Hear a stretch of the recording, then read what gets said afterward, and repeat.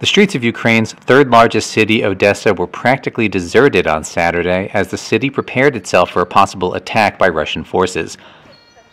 Anti tank defenses and sandbags replaced locals and tourists along the city's main thoroughfares. Shops and restaurants were closed, with many people choosing to stay home, while others have fled. At the train station, many from the neighboring city of Mykolaiv boarded trains to escape.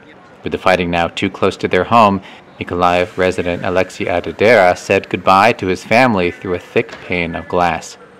His wife, on the train, tearfully said she hoped this would all end quickly.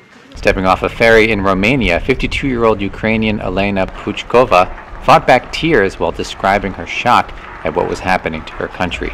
They're bombing Kharkov, they're bombing Nikolaev. It's only 120 kilometers from Odessa and it's painful inside.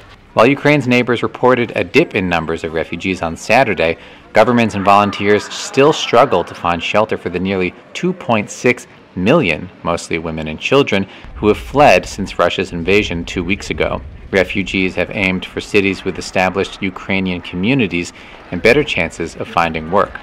Kiev resident Katerina was sheltering in a makeshift refugee center in Dumbraveni, Romania. It's scary, really. And uh, many of my friends are there. And many of my foreign partners who were working in Kiev, they are also there. I'm sorry, guys.